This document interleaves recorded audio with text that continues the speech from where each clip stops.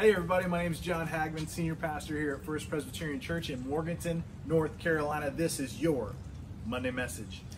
The first thing that I want to let you know about is to just kind of recap what we talked about on Sunday morning, and that is that what we do with our stuff matters to God.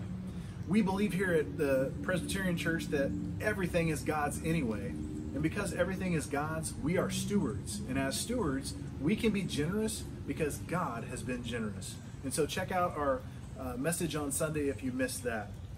The next thing I want to let you know about is that members of First Presbyterian Church pledge our financial resources for the following year to support the work of the church. And so this past Sunday, November the 15th, was Commitment Sunday, where we commit our resources as a community of faith to be together in what God's calling us to do.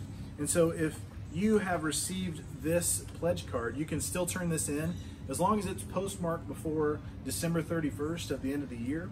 It still counts, but the sooner you can get a, this uh, information to us, the better we can plan and the more people that we can help. So, uh, so please make sure you do that.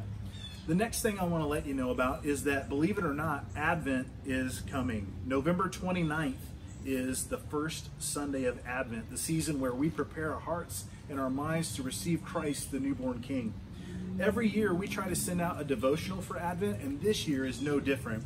This year, the Advent devotion is Our Hope and Expectation. This is the pocket size version that most of us will get. I do want to let you know that we have limited, very, very limited editions of the large print. So if you need large print, please contact the church office and we'll make sure you get one. But the most of us will get this pocket size edition. I'm excited about this because it is a daily devotion that extends from November the 29th all the way through Epiphany, January the 6th. So this is a devotion not just for Advent, but for the whole Christmas season. But friend, I hope that you have a wonderful and a blessed week this week. God bless you.